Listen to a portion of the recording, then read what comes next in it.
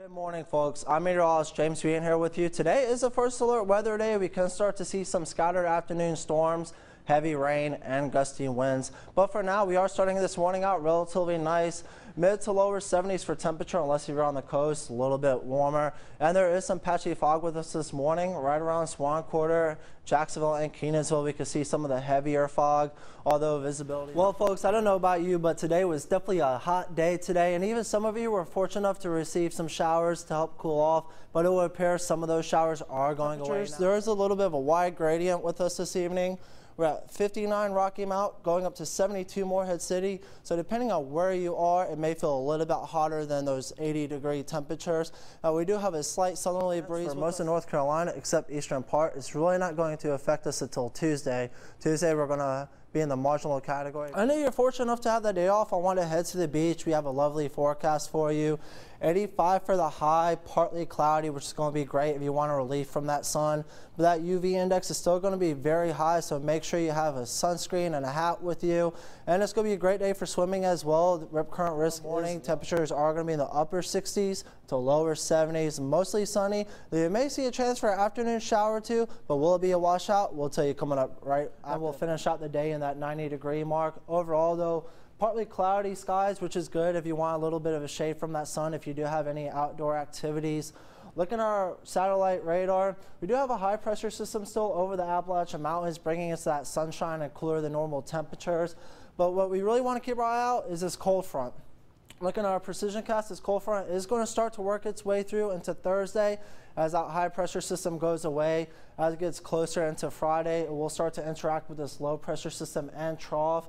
So Friday, we could expect to see some storms are moving southeast and bringing down lots of rain and gusty winds. But August is here and we are moving deeper into that hurricane season. So far, we haven't had any hurricane activity, but if there is any in the, the cold front really isn't going to affect us till Tuesday night and it's going to transition to a stationary front. Those temperatures are going to start to drop. We'll see an increase in showers. Chances will increase as well. And then hopefully we'll start to see some clear skies by Saturday. Yeah, so I saw mid 90s for inland, so heat issues are going to come back into the picture by the middle yes, of the week. Yes, definitely. Temperatures are going to start warming back up. We'll see those upper 90s again, but thankfully they'll cool down as we progress throughout the week. I'm not looking forward to those triple digit heat indices, so no, nobody is. As you start to see some storms work its way through, and it's thanks to some warm moisture and instability in the atmosphere. But then we are going to start to see some rain cool temperatures. Temperatures are going to drop to those lower 90s, scatter storms throughout eastern North Carolina and most parts of North Carolina in general. We are going to see those storms continue to roll through into the overnight hours and early tomorrow morning.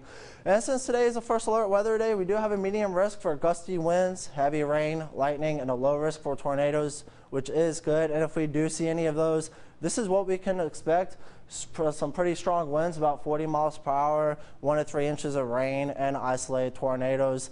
Like I said, today we're going to start out in the mid 70s, partly cloudy. By noon, we're going to get up to about 90 degrees. Chance of showers are going to increase slightly. Then by 5 p.m., which is really where we're going to start to see some action and temperatures are going to be in those lower 90s. And I'm meteorologist James Wheaton. Thanks for joining me this morning. Good evening, everyone. I'm your meteorologist James Wheaton here with you. We are starting to see some isolated showers as we move into the evening right around Bertie and Martin County, and it's all thanks to a sea breeze that came in contact with the weak boundary area. And those showers are going to continue up over the Albemarle Sound, a little bit more concentrated over the Kitty Hawk and Kill Devil Hills area. And we do have a low pressure system as well working its way off the Florida coast, and it's going to help push a stationary front closer to the coast of North Carolina. And when it does, we will start to see an enhanced chance for showers next week. And I'll let you know when we can start to see those showers coming up on your first alert forecast. Good Thursday morning, everyone. I'm meteorologist James Wheaton. We started out this morning partly cloudy and muggy, but that sun is starting to peek through. And as it does, those temperatures are on the rise. 79 Greenville, 79 Kinston, 79 Windsor now, straight across upper 70s, lower 80s for eastern North Carolina. That fog is starting to clear out as well. There is some fog lingering around Kenansville and Kinston though, so as you do your morning travels in that area, make sure you are taking extra precaution.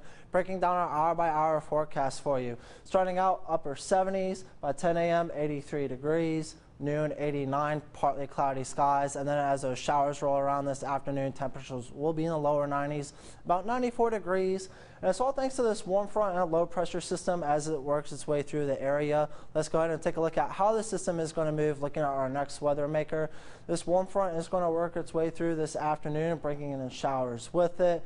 Cold front's are going to come through Friday. We will see some showers lingering around, some clouds as well. And things are going to start to clear up thanks to this high pressure system. As it brings some northerly wind, it's going to cool things down and clear things up. So we're going to end the week on a great note. If you have any outdoor activities you want to do, such as the beach or the pool or even grilling, great day for it. Sunday, our seven day forecast for you. Starting out, first alert weather day. Tomorrow, those showers are going to linger around for the most part. Saturday, things are going to clear up. Sunday is going to be a beautiful day out there. Lower 90s, going to be relatively dry, not much humidity. Then that seasonal pattern will return Tuesday and Wednesday as the chance of precipitation starts to increase. Coastal forecast, similar setup. First alert weather day today. Friday, those showers are expected to linger around. We're going to be up 85 degrees Sunday. No chance of precipitation. Like I said, it's going to be a beautiful day out there Sunday. And then let's go ahead and take a look at this picture sent to us from Deborah Wooten up in Kinston. Thank you for sharing us this picture. We always encourage our viewers to share with us what they're looking at weather-wise. They can do that by going to Facebook, Twitter, Instagram, or our own personal website at wnct.com backslash weather. And thanks again for joining me this morning, folks. I'm your Ross, James Wheaton.